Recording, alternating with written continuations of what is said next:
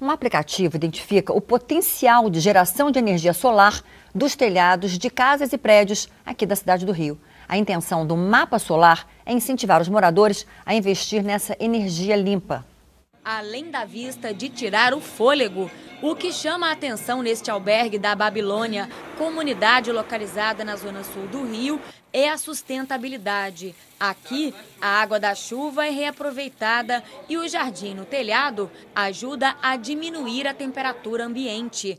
Há seis meses, o proprietário resolveu investir na geração de energia solar e não se arrepende. Eu já cheguei a pagar 1.500 e já cheguei a pagar 450. Então, acho que é 65% a minha economia e em quatro anos eu pago todo o meu investimento.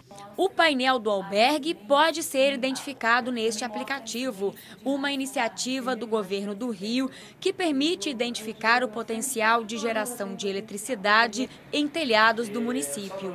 Pelo programa é possível calcular o tamanho do telhado de qualquer edificação registrada na prefeitura.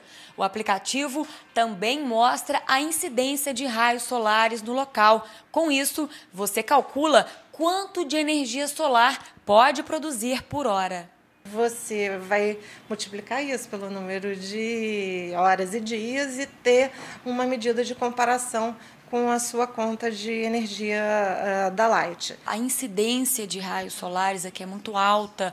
O potencial de geração de energia da cidade é muito grande. Por quê?